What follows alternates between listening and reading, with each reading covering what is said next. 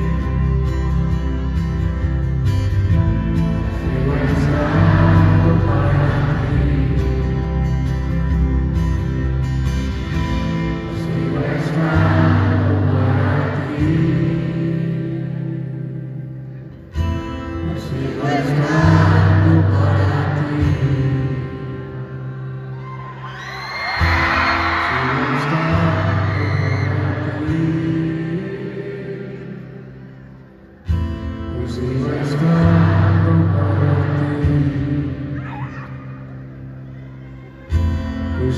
Star.